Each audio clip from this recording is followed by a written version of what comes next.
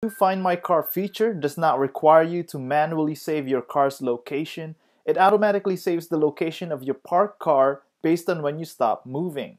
When you arrive at the destination, just do what you normally do. Turn off the navigation, leave the car, and go on your merry way. When it's time to go back, the Find My Car option is accessible from the Here Drive's main menu. You can also pin it to the home screen.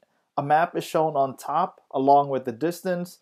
There are options called Point Me There and Walk There. Point Me There activates Live Sight, which uses augmented reality technology. A live camera view appears with a compass and a marker pointing to your car's location.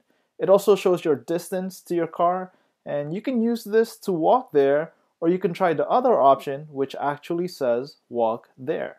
That option, on the other hand, activates walk navigation with turn by turn directions. This screen should be already familiar to you because it's Here Maps. Find My Car also lets you add and see details such as photos and notes. This could be very helpful in huge parking lots. You might want to include parking lot numbers or levels. So that's Find My Car on Here Drive. We recommend pinning this option to the home screen for quicker access. This is much quicker than going through Here Drive's main menu. Definitely check out Find My Car when you have a chance. I'm Mark for WP Central. Thanks for watching.